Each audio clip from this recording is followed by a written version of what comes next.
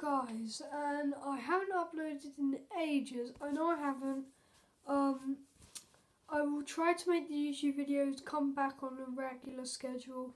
If not, I'm just gonna try and um, upload once a week um, or three times a month because I don't really have enough time for it and I don't and I'm doing a lot I'm quite busy most of the time so that's why. But anyway I'll see you guys in the next video. I'll probably upload one tomorrow or the day after. But anyway see you guys. Bye